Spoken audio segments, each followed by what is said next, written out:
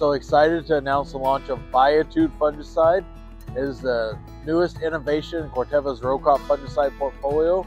Viatude contains two mode of actions on Mira Active, which is the picoxystrobin, plus prothioconazole. So two modes of action to protect against white mold in northern U.S. soybean growing states.